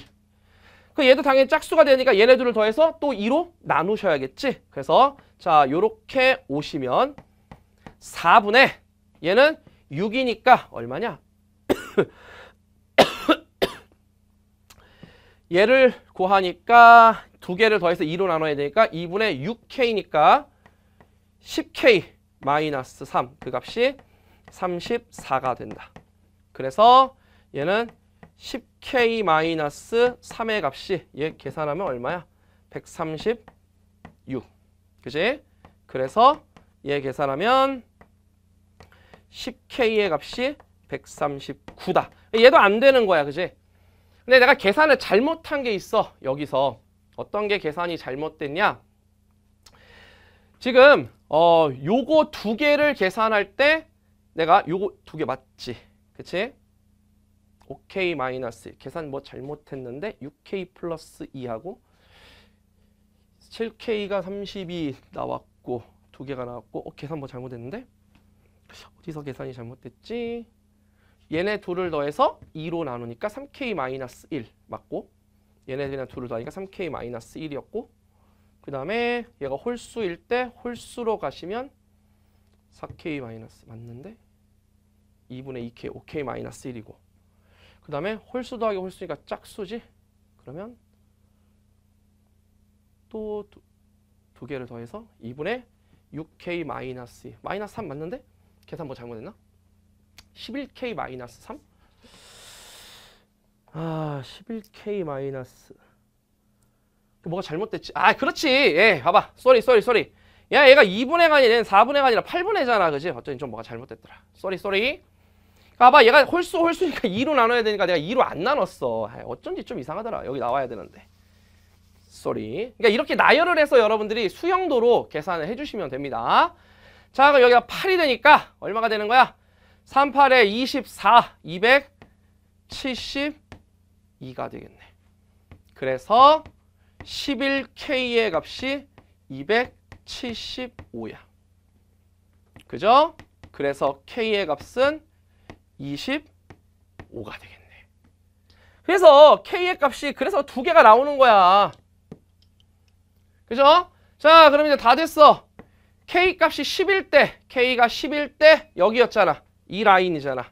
저 위에 라인. 밑에는 아니야. K가 10일 때 A2의 값은 19가 될 테고 K가 25일 때 A2의 값은 50에서 1을 빼니까 49가 되는 거야. 알겠니? 자, 그러므로 우리가 찾는 합은 68이 답이 될 겁니다. 자, 그래서 이거는 사실 수영도에 의해서 우리가 하나씩 하나씩 나눠서 정리를 하는 건데 실제로 저 밑에 짝수가 되는 경우는 안, 됐, 안 됐기 때문에 저 위에서만 정리를 해주시면 되는 그런 내용이었어. 그래서 아까 내가 여기서 다 지금 이제 짝수 더하기 짝수니까 얘도 이제 2로 나누니까 여기가 4가 돼야 되는데 내가 그거를 잘못했어. 그지? 여기는 2로 나눠주고 얘도 2로 나눴는데 여기만 2로 안 나눠서 계산이 좀 잘못됐던 것 같아. 그래서 얘도 136이 되고 얘가 137이 될 거야. 그죠? 그래서 안 돼. 그래서 어쨌든 간에 지금 요 문제를 접근할 때 우리가 A1이 주어졌기 때문에 순차적으로 접근을 하는 게 맞다. 그걸 여러분들이 조금 이 15번에서 얻어 가셔야 된다. 알겠죠? 네, 정답은 3번 이렇게 해설을 해주시면 되겠습니다. 자 그러면 이제 주관식으로 한번 넘어가 보도록 합시다.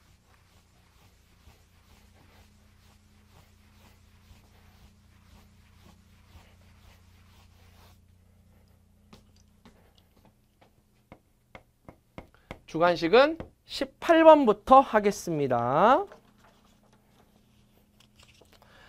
자, 18번은 뭐 되게 쉬웠습니다. 18번과 21번이 이제 어, 인수분해 하는 걸로 이제 아 21번이래. 저기 저기 미적분에서도 이런 비슷한 문제가 있었죠.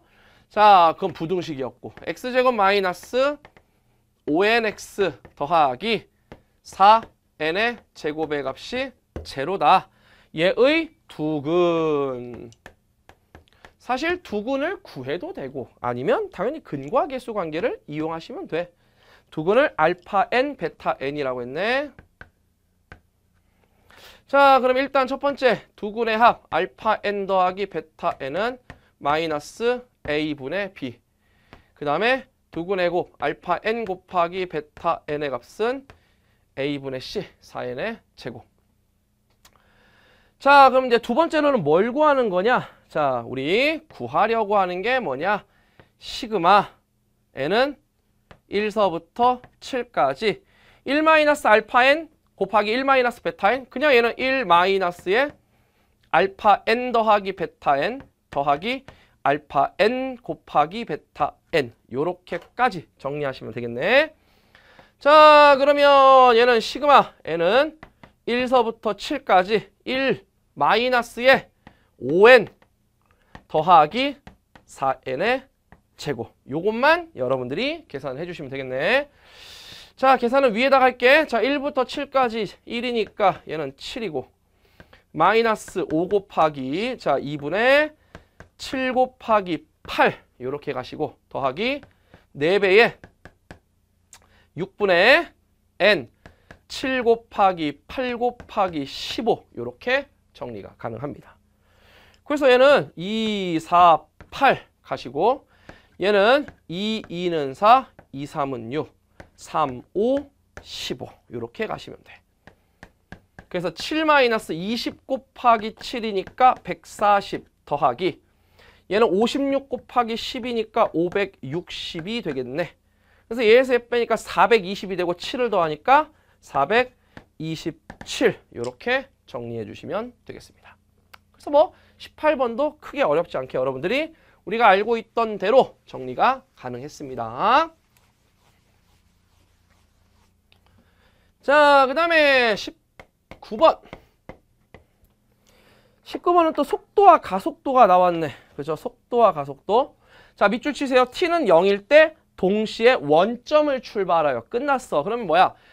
현재 x1의 위치도 0이고 x2의 위치도 0이란 얘기야. 자, 그때 v1t는 p의 속도는 얼마냐? 3t의 제곱 마이너스 15t 더하기 k 이렇게 되고 v2t는 마이너스 3t의 제곱 더하기 9t 이렇게 되어 있습니다. 얘네가 딱 한 번만 만난대.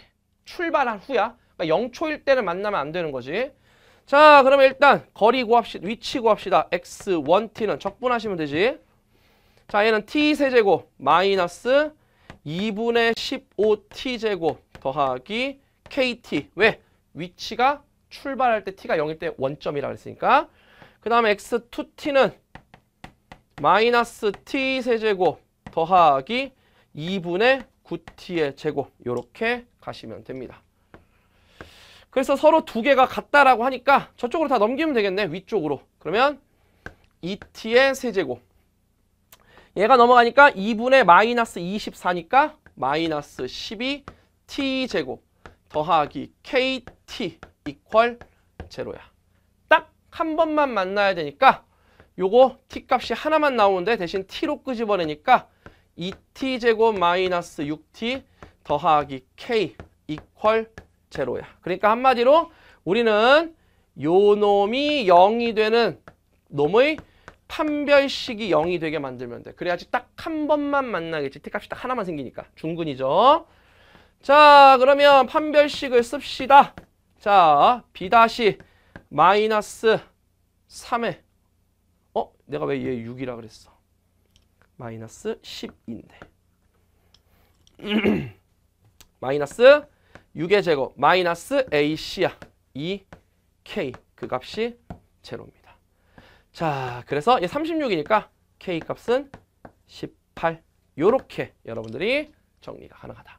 전체적으로 이것도 속도가 속도가 우리가 항상 많이 봐왔던 그런 테마고 계속 수능에서도 계속 계속 계속 출제가 됐었던 테마기 때문에 뭐 큰 어려움 없이 여러분들이 정리가 가능하셨을 겁니다. 자, 그 다음에 문제 20번 갑니다.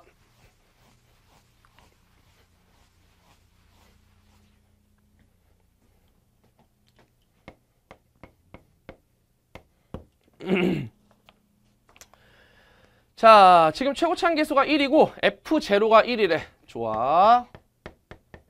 F0가 1입니다. 자, 그때 가족권을 보시니까 지금 뭐라고 돼 있냐면 G'0가 1이래. 근데 지금 GX가 어떤 함수인지는 몰라. 근데 나 조건을 보니까 GX가 어떻게 됐냐면 F의 X 마이너스 P 마이너스 F의 마이너스 P고 얘는 X가 0보다 작아. 그 다음에 F의 X 플러스 P 그 값 마이너스 FP고 얘는 X가 0보다 크거나 같아. 그럼 일단 첫 번째 제일 먼저 여러분들이 따져야 될 것은 연속하냐 안 하냐를 확인해 봐야 돼. 그지 GX가 X는 0에서 빵 집어넣으면 F-P 마이너스 F-P니까 0. 여기다가 빵 집어넣으면 FP-FP니까 0. 아, G0는 0이야. 근데 G0가 0이면서 G'0가 0이니까 얘는 0에서 접하네 0,0에서. 그런 다음 이제 두 번째는 뭐 하냐면 아니 G'0니까. 야 이거 미분하자. 좌미분계수 우미분계수 어차피 똑같을 거 아니야. 자 G'X는 자 미분 때리시면 F'의 X-P 얘는 X가 0보다 작을 때고 어차피 얘네는 상수니까 날라간단 말이야 얘는 F'의 X 플러스 P 얘는 X가 0보다 커. 그러면 좌미분계수, 우미분계수가 다 똑같아야 되지 않니? 아, G'0는 F'의 마이너스 P고 걔는 F'의 P랑 똑같고 그게 제로가 돼야 되네. 아, 지금 문제는 양의 실수 P라 그랬어. 하, 이런 거 조건 항상 빼먹지 마시고, 그죠? 그럼 뭐야? f prime 마이너스 p가 0이고 f prime p가 0이야. 어쨌든 극 얘가 극대값이고 얘가 극소값이네. 그죠? 그러한 함수가 되더라. 우리 어차피 fx를 가지고 일단 그린 다음에 gx를 그리는 거니까. 그치? 자, 그럼 fx를 한번 그려보자. fx는 f0가 1이고 마이너스 p가 아, 마이너스 p에서 극값을 갖고 p에서 극값을 가져야 돼. 자, 그럼 세 번째 나는 f prime 마이너스 p가 일단 제로고 f prime p가 제로야. 거기다가 f 제로가 1이다. 요거의 식을 한번 살펴볼게. 걔는 이렇게 그림이 그려지지 않겠니? x축과 y축 어차피 최고차항 계수가 1이니까 여기가 마이너스 p라는 라인이고 여기가 p라는 라인이야. 그럼 f 제로가 1이니까 요 점을 지나야 돼. 극대 극소가 돼야 되니까 그래프는 일단 이런 식으로 뭐 대충 그려질 거다. 그럼 얘는 원래 어떤 놈을 평행이동 시켰냐? 원래 이런 놈을 평행이동 시켰다. 아이고. 원래 어떤 놈을 평행이동 시키냐? 좀 더 내려와야 되는데 원점 대칭한 그래프들을 평행 이동을 시켰다. 얘가 이런 그래프를 y축으로 이렇게 위로 올린 거야. 그지? 그러니까 결국 너희들이 함수의 그래프를 찾을 수 있어. 어떤 비율 관계에 의하면 얘가 1대 루트 3 아까도 제가 말씀드렸던 비율 관계. 그럼 이 노란색 함수는 누가 되냐? 최고차항 계수가 1이면서 얘가 대칭이니까 마이너스 루트 3, 0, 0, 0, 루트 3, 아, 루트 3 p지. 미안. 얘가 p니까. 루트 3p, 0. 그래서 이 함수는 x 곱하기 x 플러스 루트 3p x 마이너스 루트 3p라는 함수가 돼서 우리가 찾는 fx라는 함수는 이거 전개한 다음에 x 세제곱 마이너스 3p제곱 x 그 함수를 y축으로 1만큼 평행 이동시키는 거야. 무슨 말을 하는지 이제 알겠죠? 그래서 이제 그래프는 아까 내가 그렸듯이 자세하게 다시 한번 그려드리면 그래프가 이런 식으로 그려지셔야 돼. 그래서 여기가 P고 여기가 마이너스 P입니다. 자, 근데 이제 우리가 구하려고 하는 게 뭐냐면 인테그랄 0부터 P까지 gx를 적분하래. 잠깐만 와봐. 근데 gx는 0부터니까 0보다 큰 값이 이 함수거든. 그럼 그 함수는 x축으로 마이너스 p만큼 평행 이동시키고 y축으로 p제곱만큼 평 아니 fp만큼 평행 이동시켜야 돼. 그럼 봐봐. 일단 여기서 여러분들이 fp를 한번 찾아보자. 자, fp는 여기다 pp 집어넣으면 p세제곱 마이너스 3p 세제곱이니까 1 마이너스 2p 세제곱이라는 값이 될 거야. 그치? 그러면 얘 봐봐. 얘를 어차피 x축으로 마이너스 p만큼 오면 이 그래프 모양이 얘가 이런 식으로 오게 될 거야. 어차피. 그치? 그 다음에 걔를 아래로 하든 위로 하든 어쨌든 간에 어디서부터 어디까지 구하는 거야? 0부터 p까지 적분하는 거잖아. 0부터 p까지. 근데 저거 x 플러스 p를 하려면 야 이거 여기다 x 플러스 p를 집어넣고 가지고 생 쇼를 해야 되잖아. 그죠? 그러지 마. 그 x축을 p만큼 평행이동시켜. 그러면 인테그랄 p부터 2p까지 g x 마이너스 p dx가 되는 거 아니야? 그럼 g x 마이너스 p는 잠깐만 와봐. 여기다가 x 마이너스 p, x 마이너스 p를 집어넣으면 g의 x 마이너스 p가 fx 마이너스 fp야. 그래서 fx가 누구였어? 얘였잖아. 그래서 얘를 적분하시면 인테그랄 p부터 2p까지. 그래서 조금 복잡하긴 했어. 얼마냐? X세제곱 마이너스 3p제곱 x 더하기 1 마이너스 요 놈을 해주면 돼. 1 더하기 2p세제곱 요 놈을 적분하면 돼. 그래서 1이 없어져. 그래서 여러분들이 얘만 적분해주면 돼. 이거 적분은 저쪽 가서 해드리도록 할게요. 그러니까 어려운 문제는 아니었는데 이 문제도 역시 예전에 나왔던 기출문제와 굉장히 비슷한 유형의 문제였다. 자, 네 번째 이어서 바로 가겠습니다. 자, 적분하시면 x의 4제곱을 4로 나눠주시고 그 다음에 3p제곱 x를 적분하니까 2분의 3p 제곱의 x의 제곱. 그 다음에 어 더하기 2p 세제곱이지. 더하기 2p 세제곱의 x. 그게 p부터 2p까지야. 근데 그 적분한 값이 지금 얼마라고 했어? 20이다. 오케이. 요게 20이래. 자, 그럼 요것도 계산하는 거는 조금 집어넣고 집어넣고 빨리빨리 계산 한번 해보도록 할게. 자, 4분의 1에 2p의 4제곱이니까 16 p의 4제곱 마이너스 p의 4제곱 마이너스 2분의 3p의 제곱에 이거 제곱 집어넣으니까 4p의 제곱 마이너스 p제곱이 되고 더하기 얘는 2p에서 p 빼니까 그냥 p므로 2p의 4제곱 그 값이 20이래. 자 그러면 요거 계산하시면 얘는 4분의 15p의 4제곱 얘는 2분의 얼마야? 9p의 4제곱이지? 근데 2분의 9p의 4제곱을 4분의 18p의 4제곱 하시고 더하기 얘는 4분의 8p의 4제곱을 가시면 4분의 23에서 4분의 18을 빼니까 4분의 5p의 4제곱이 돼서 그 값이 20입니다. 그래서 얘랑 얘랑 약분하니까 4가 돼. 그러므로 p의 4제곱의 값이 16이다. 그래서 p 값은 2가 되는 거야.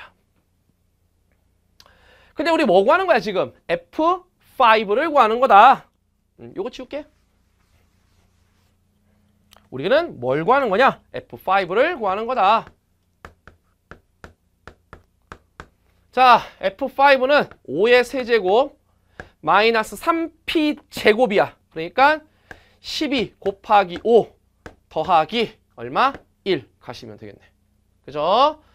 자, 그럼 얘는 125에서 60을 빼고 1을 더해 주시면 돼. 그래서 정답은 66 이렇게 딱 갖고 가시면 되겠습니다. 전체적으로 여러분들이 20번은 기본적으로 이런 개형이라는 것을 일단 찾아야 되고 여러분들이 아마 굉장히 많은 어, 비율 관계를 배우셨을 거야.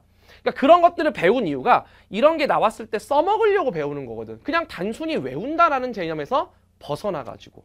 그래서 이런 것들은 좀 여러분들이 기억을 해두셔야 되지 않을까. 개인적으로 생각합니다. 20번도 어렵진 않았는데 이런 식 만드는 거라든지 적분하는 과정 그냥 0부터 p까지 여기다 x 플러스 p를 집어넣어서 계산할 수도 있어. 되게 복잡하잖아. 이거 x 플러스 p의 세제곱 언제 할래? 이렇게 평행이동을 통해서 정리하는 것도 여러분들이 조금 공부하셔야 되고 이것도 굉장히 많이 나왔던 그런 테마였습니다. 알겠죠? 자, 그래서 정답은 66 이렇게 갖고 가시면 되겠습니다.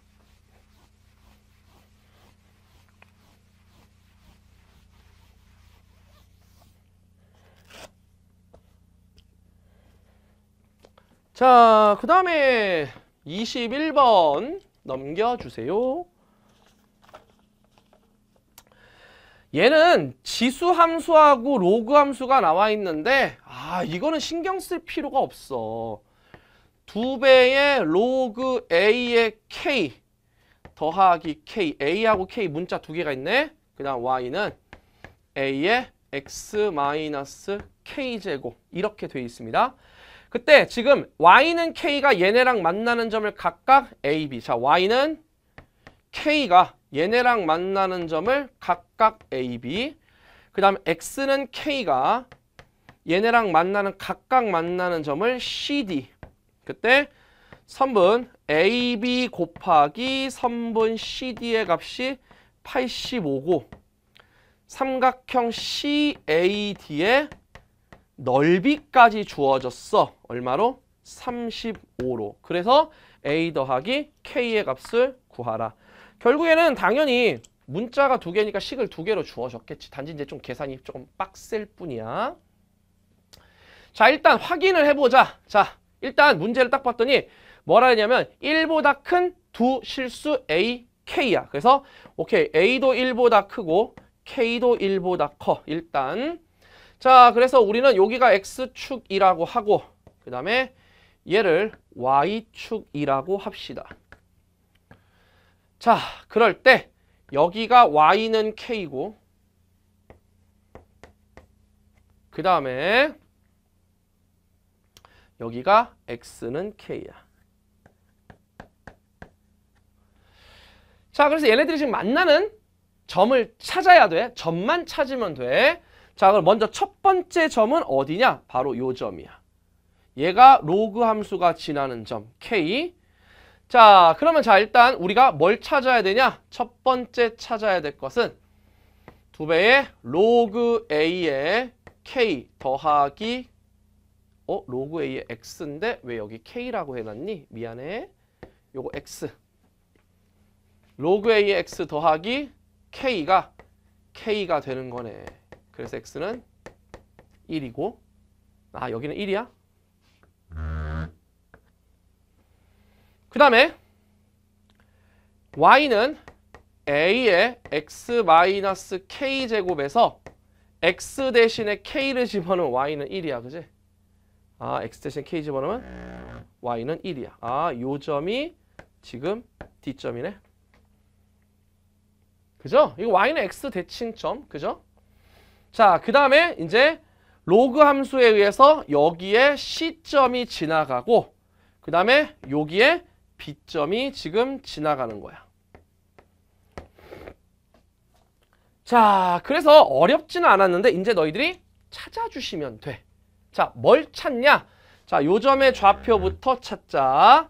자, 이 점의 좌표는 로그 값이니까 아까 내가 얘기했듯이 요 점의 좌표는 2로그 A의 K 더하기 K가 되고 그 다음에 이 점의 X 좌표를 찾아야 되지. 근데 얘는 봐봐. Y가 K일 때 X인데 얘는 뭐야? A의 X제곱을 X축으로 K만큼 평이동시킨 거잖아. 그러면 얘는 로그 A의 X를 Y축으로 K만큼 평이동시킨 거지. 거기다가 K를 집어넣은 거야. 이놈은 로그 A의 K 더하기 K야. 그러니까 비슷한 놈이 되게 많이 나온 거야, 지금 현재.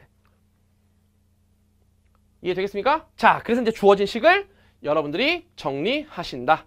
자, 먼저 첫 번째 선분 AB의 길이 5권의 선분 AB 걔는 얘에서 얘 빼는 거지. 자, 로그 A의 K 더하기 K-1 곱하기 선분 CD 그럼 얘에서 얘 빼는 거지. 두 배의 로그 A의 K 더하기 K-1 그 값이 얼마래? 85야. 그 다음에 세 번째 삼각형의 넓이는 2분의 1 곱하기 어차피 삼각형 누구야? CAD 아니야? 요거네? 자 얘는 2분의 1 곱하기 밑변은 얼마야? 요 놈이잖아. 두 배의 로그 A의 K 더하기 K-1 곱하기 높이는 여기서부터 여기까지니까 K에서 1 뺀 거네. K-1이야. 그게 35래. 자, 이제 과연 이거를 이제 어떻게 전개할 것이냐. 이게 조금 어려웠지. 딴 게 어려운 게 아니었어. 딴 게 어려운 게 아니라 이게 어려웠지. 자, 이런 것들은 한번 경험을 해보셔야 되는데 이런 것들은 또 공통수학에서 많이 했을 텐데 선생님이 로그 A의 K를 A라는 놈 문자로 바꾸고 K-1이라는 놈을 B라는 문자로 바꿀게. 그러면 어떻게 바뀌냐면 얘가 A 플러스 B가 되고 얘는 2A 플러스 B가 돼. 그게 85야. 근데 얘는 여기다 갖다 곱할게. 누가 되냐면 얘는 누가 되냐면 2A 플러스 B 곱하기 B의 값이 70이야. 그래서 얘를 나눌 거야. 그래야지 없어지잖아. A가 1보다 크고 K도 1보다 크대. K가 1보다 크니까 절대로 B하고 A는 0이 될 수가 없겠네. 끝난 거야. 이것 때문에 그런 거야. 그래서 누가 되냐면 B분의 A 더하기 B의 값은 얘랑 약분하면 5일은 5, 5, 4, 20. 5일은 5, 5, 7에 35. 14분의 17. 그래서 자 이렇게 곱하면 14A 더하기 14B가 17B가 되니까 14A가 3B가 됩니다. 여기다 집어넣으면 되네. 그죠? 자 B의 값은 얼마? 3분의 14A. 자 여기다 갖다 집어넣으면 얼마입니까? 3분의 14A 더하기 3분의 6이가 3분의 20A네. 곱하기 3분의 14A 그 값이 70이네. 그럼 얘는 10하고 10 약분하고 얘하고 얘를 약분하면 2가 되겠다. 그래서 아하 우리 A의 제곱의 값이 3분의 2, 3, 아니 9분의 4가 되겠네. 근데 그거를 역수시키니까 4분의 9야. 그죠? 자, 그래서 자, 우리 네 번째 요거 다 지우자 이제. 이게 필요가 없어. 자, 네 번째 뭐가 되냐? A의 값은 어차피 양수지. 둘 다 1보다 크니까 2분의 3이고 자, B의 값은 저기다가 2분의 3을 곱하니까 7. 요게 되겠네. 자, 그러면 우리 요거 얘가 누구였었어? 로그 A의 K의 값이 2분의 3이고 얘는 K-1의 값이 7입니다. 오케이. K 값은 8. 자, K가 8이니까 얘가 어떻게 바뀌어? 얘는 3 로그 A의 2 그 값이 2분의 3 약분. 그래서 얘는 A의 2분의 1제곱의 값이 2가 됩니다. 그러므로 양변 제곱을 하니까 A의 값은 4 이렇게 정리가 되겠네. 그러므로 우리가 A 더하기 K의 값을 구하는 거 아니야? 정답은 그래서 10이야. 전체적으로 이 문제가 사실 그렇게 어렵진 않았다. 왜? 기본적으로 점만 찾으면 되는 거고 우리가 저번에도 얘기했지만 y좌표가 주었을 때 x좌표는 역함수로서 생각을 하면 된다. 이거는 그냥 갖다 때려 넣으면 되지만 역함수 얘는 a의 x제곱의 그래프를 x축으로 k만큼 평행이동 시키니까 이 y y좌표 아 그러니까 y가 k가 될 때 x좌표는 로그 a의 x의 그래프를 얘가 x축으로 k만큼 평행이동 시켰으니까 y축으로 k만큼 평행이동을 하게 되겠다라는 거. 그걸 여러분들이 좀 알아두시면 좋을 것 같아요. 그래서 전체적으로 1번부터 21번까지 음, 전체적으로 총평을 하자면 계속 계산 과정이 복잡한 게 많았다. 근데 지금 선생님이 풀어드린 것처럼 딱 보자마자 바로 이렇게 접근을 해서 문제를 풀어야지 아마 시간이 조금은 부족하지 않았을 텐데 좀 생각을 많이 하고 이것도 어떻게 하지 마 이런 생각을 갖고 있었다면 당연히 문제 풀이 하는데 큰 어려움이 있으셨을 겁니다. 이제 그런 점들을 여러분들이 향후에 앞으로 어떻게 공부를 해나가는 방향을 잡으셔서 어, 기출 분석을 하면서 같이 정리를 해주시면 좋을 것 같아. 알겠죠? 자 이제 드디어 마지막 문제 하나 보도록 하겠습니다. 이게 이제 가장 어려웠다라고 하는 22번인데 이것도 이제 그거를 정확하게 파악을 했었어야지. 그 조, 처음에 주어진 절대값 그거를 파악했었어야 돼. 근데 이거는 이미 우리가 한번 경험을 이미 했었습니다, 여러분들. 기출에 한번 나형에서 출제가 된 적이 있었다. 자, 갑니다. 최고차항 계수가 1인 4차 함수야. 오케이, 4차 함수. 그때 이 gx라는 함수가 절대값 fx 마이너스 t다. 자, 이 gx라는 함수 어떻게 그리지? 이거는 이렇게 그리는 거예요. fx가 4차 함수니까 이렇게 그려졌을 때 y는 t가 있다. 그러면 y는 t, 얘가 x축으로 바뀌면서 꺾어 올리면 돼. 이게 우리가 찾는 y는 gx라는 함수입니다. 이, 이런 모양이야 지금 현재. 오케이? 자 그럴 때 문제에서 뭐라 그랬냐면 limit x가 k로 가까이 갈 때 절대값 x-k분의 gx 마이너스 gk 얘가 존재한다는 얘기는 무슨 뜻이냐면 k가 0, 어, x가 k보다 클 때랑 x가 k보다 작을 때 값이 똑같다는 얘기야. 그게 우미분계수, 좌미분계수지. 그래서 첫 번째 x가 k보다 큰 경우 그러면 limit x가 k보다 큰 쪽 우극한이죠. 자, x 마이너스 k분의 gx 마이너스 gk 요 값이고 자 x가 k보다 작을 때는 자 limit x가 k보다 작을 때 얼마가 되냐 x 마이너스 k분의 gx 마이너스 gk가 됩니다. 결국 얘는 우리가 뭐라고 얘기하냐면 x는 k에서 x는 k에서 우미분 계수라고 하고 얘는 x는 k에서 좌미분 계수가 서로 부호가 반대가 되겠지. 얘는 마이너스를 붙였으니까. 그럼 얘가 미분이 가능한 상황에서는 어떻게 되냐면 음 그냥 G'K가 0이 되면 돼. 그죠? 그런데 그게 아니면 우미분계수와 좌미분계수를 더했을 때 0이 되는 거. 그게 누구냐? 봐봐. 여기지. 여기에 우미분계수는 얘고 좌미분계수는 얘잖아. 얘가 마, 얘가 플러스 3이면 얘는 100% 마이너스 3이지 왜? x축 대칭을 시켰으니까.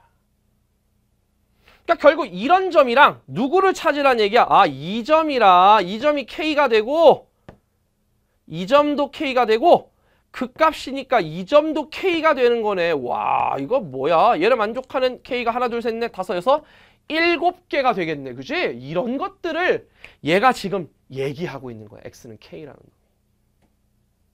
그러니까 그거를 이거를 이해를 못했다면 이 문제는 못 풀었는데 이거는 이미 예전에 이런 식으로 나온 적이 있었어. limit h가 0 우극한으로 가까이 갈 때 h분의 f a 플러스 h 마이너스 fa 곱하기 limit h가 0 좌극한으로 갈 때 곱한 게 0보다 작거나 같다. 이런 식으로 이미 나왔었어.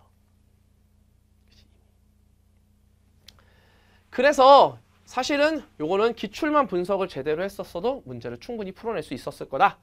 자, 그 다음에 이제 읽어볼게. 그때 얘가 존재하도록 하는 실수 k의 개수 ht. 맞네. 지금 저거는 만약에 t가 요 놈이었다면, 그지? 야, 함수가 이렇게 되고 t가 요 놈이었다면 t는 움직이겠네.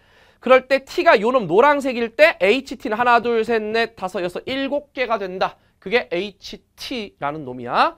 근데 HT에 대해서 자 가 조건을 한번 볼까? 가 조건 나 조건 써놓게 일단 자 가 조건을 보시니까 limit T가 4 우극한 쪽으로 갈 때 HT의 값이 다섯 개가 돼야 되고 4보다 조금 더 큰 쪽. 그 다음에 나 조건을 보시면 뭐라 그러냐면 H, Y는 HT라는 함수는 T는 마이너스 60과 t는 4에서만 불연속이래. 아! 야, 잘 봐봐. 그럼 이 경우에서 한번 해보면 되겠네. 하나, 둘, 셋, 네 점에서 만날 때는 지금 극값까지 3개 포함해서 7개가 되겠네?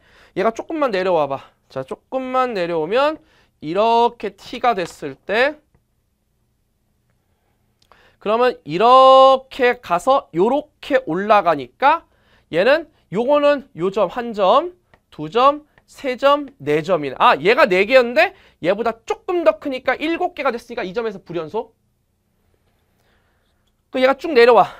쭉 내려오다가 요렇게 됐어. 딱 만났어. 그럼 이 점 한 점이네.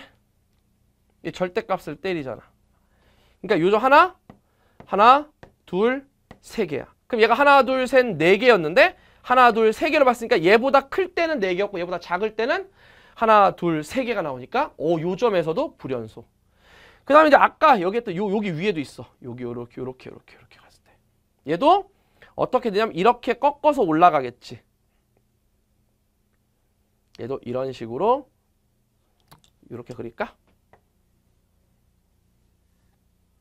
여기가 이렇게 됐을 때 그죠?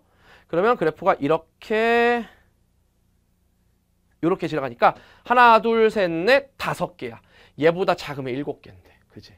그러니까 결국 하나 둘셋 하나 둘 세 개 여기 여기도 있겠지? 아 여기는 아니고 세 개가 되니까 얘는 아니란 말이야 그럼 두 개만 돼야 된단 말이야 그지? 그 두 개가 어떻게 될까? 그러니까 이런 것들은 사실 우리가 많이 유형의 그래프를 많이 해보셨다라는 거. 결국 그걸 확인하려면 딱 두 점에서만 바뀌어야 되니까 그래프 개형이 이렇게 될 거야. 그래서 여기가 얼마가 되냐? y는 마이너스 60이고 여기가 y는 4가 될 거야. 그래서 y가 4보다 조금 더 크면 자, 조금 더 큰다는 얘기는 이렇게 그래프가 그려진다는 얘기야. 자, 이렇게 그래프가 있을 때 여기가 x축이 되다 보니까 꺾어 올리면 우리가 찾는 개수가 한 개, 두 개, 세 개, 네 개, 다섯 개 정확하게 그 얘보다 작을 때는 하나, 둘, 셋, 넷, 다섯, 여섯, 일곱 개가 되니까 당연히 이 점에서 불연속. 그치? 그럼 얘가 내려가도 얘는 하나, 둘, 셋. 여기도 하나, 둘, 셋. 얘보다 조금 더 크면 일곱 개. 그래서 t는 마이너스 60과 t는 4에서 불연속. 이 두 점에서밖에 불연속이 될 수가 없겠네. 그래서 이제 이 그림을 찾는 게 가장 중요했었어. 그럼 다 찾은 거야. 근데 뭐래 문제에서 F2가 4인데 F2에서의 접선의 기울기가 0보다 크대. 그럼 여기가 2 아니면 여기가 2 아니면 여기가 2인데 얘는 접선의 기울기 음수, 얘는 접선의 기울기 0, 얘는 접선의 기울기 양수니까 아하 이 점의 좌표가 2구나. 그런데 여러분들이 이제 이런 비율 관계를 좀 보셔야 돼. 지금 이렇게 극값하고 다 비율 관계를 따져보면 어떤 비율 관계가 생기냐면 아까는 3차 함수는 1대 루트 얼마였었어? 3이었지. 얘는 1대 루트 2의 비율을 갖게 된다라는 거. 그래서 이렇게 바꾸면 될 것 같아. 요 길이를 t, 얘는 루트 2t. 요렇게 가주시면 될 것 같아. 그러면 요 점의 좌표는 얼마? 2에서 t만큼 빼는 거야. 2 마이너스 아, 2 마이너스 여기서 요만큼 빼야 되지. 루트 2t. 이 점의 좌표는 루트 2t, 루트 2t 두 번을 빼니까 2 마이너스 2 루트 2t. 요렇게 여러분들이 정리가 가능해. 자, 근데 최고치 함계수가 얼마? 1인 4차 함수라 그랬으니까 자, 식 세울게. 자, 요 식 세우는 것도 참 중요했다. fx-4. 얘가 그냥 한마디로 여기가 x축이 됐다라는 얘기야. 그치? 접한 거니까. 자, 얘는 하나는 뭐야? x-2. 요게 x2였었지. 또 하나는 x-2 플러스 2 루트 2t. 여기는 여기 가운데는 x-2 플러스 루트 2t의 제곱이야. 여기는 x축의 접하니까. 그때 이제 뭐야? t를 집어넣은 값이 얼마가 나와야 돼? 마이너스 60 나오면 되겠네. 그죠? 음. 그럼 다 된 거야, 지금. 자, f t 마이너스 4의 값이 마이너스 64가 돼야 되고. 그치? 마이너스 64, 마이너스 60. 음. 요렇게 정리가 돼야 되고 우리가 지금부터 어디다가 집어넣을 거냐면 여기다 t에다가 여기다가 x 대신에 지금 t를 집어넣으면 돼. t일 때 마이너스였으니까. 그렇지? 자, 그러면 얼마냐? 요걸 그냥 바로 이렇게 바꿀게. fx 이퀄 x 마이너스 2 곱하기 x 마이너스 2 플러스 2 루트 2의 t 곱하기 x 마이너스 2 더하기 루트 2t의 제곱 더하기 4. 자 여기다 t 집어넣으면 얼마야? 마이너스 60이 되고 여기다 t 집어넣으면 t 마이너스 2 요렇게 아 여기다가 이제 요 점에서 t를 더하는 거니까 이 점의 좌표는 얼마냐? 2 플러스 t 마이너스 루트 2t다. 그치? 음. 그래서 여기다가 2 플러스 t 마이너스 루트 2t를 집어넣으면 돼. 그럼 여기다가 2 플러스를 집어넣으니까 여기는 t 마이너스 루트 2t만 남을 거고 자 여기다가는 2 플러스 t 마이너스 루트 2가 2하고 2 없어지고 그 다음에 여기다 t 마이너스 루트 2t를 집어넣으면 t 플러스 루트 2t가 될 것이고 자 여기다가 2 플러스 t 마이너스 루트 2죠. 마이너스 루트 2 없어지고 2 플러스이니까 여기는 t 제곱이 될 거야. 플러스 4. 자 그래서 얘가 넘어가니까 마이너스 64가 되고 얘는 t제곱에서 2t제곱을 빼니까 그냥 마이너스 t제곱 곱하기 t제곱이니까 마이너스 t의 4제곱이다. 그래서 t제곱의 값이 8이고 우리가 찾는 t값은 양수니까 2루트 2가 될 거야. 그래서 결국에는 우리가 이제 fx라는 식을 다 찾아내게 됐다. 뭐 구하는 거였냐? 자, 결론적으로 f 4 더하기 h4를 지금부터 구해달래. h4도 마찬가지야. h4도 여기가 이렇게 x축이 되는 거니까 그래프 이런 식으로 그래프가 그려지니까 우리가 찾는 h 값은 하나, 둘, 셋, 넷 이것도 다섯 개야 어차피 f4 더하기 h4 요것만 구해주시면 되겠다. 자, 그래서 우리 네 번째 먼저 F4부터 구합시다. 자, 뭐 fx부터 구하자. fx는 자, 여기다가 루트 2를 집어넣는 거야. t 대신에 2 루트 2. 그럼 x 마이너스 2 더하기 4가 되니까 x 얼마가 되냐면 플러스 2. 한마디로 여기가 2 루트 2니까 여기서 얼마가 되겠어? 4가 되니까 여기서부터 4만큼 왼쪽으로 오니까 얘는 마이너스 2가 되고 여기 마이너스 6이 되는 거야. 그치? 그래서 얘는 x 플러스 2의 전체 제곱 x 플러스 6 x 마이너스 2 더하기 4야. 그래서 F4의 값을 구하시면 얘는 4는 36 곱하기 4, 10 곱하기 2 더하기 4다. 그러므로 얘는 72 더 곱하기 10이니까 724고 H4의 값은 5였으니까 우리가 찾는 정답은 729 이렇게 정리가 될 거야. 그래서 전체적으로 지금 이 22번을 보면 가장 중요했던 게 저는 개인적으로 이게 제일 중요했다 여러분들 이게 절대값이 나오면 항상 0보다 크다 작다를 해석해야 되는데 이 좌미분계수 우미분계수가 서로 같은데 부호가 반대였다. 그렇기 때문에 서로 더해서 0이 되는 형태. 그러려면 그냥 다 0이 되는 경우, 미분이 가능한 경우는 0이 되는 경우, 미분이 불가능한 경우는 좌미분계수 더하기 우미분계수가 그렇지 0이 되면 돼.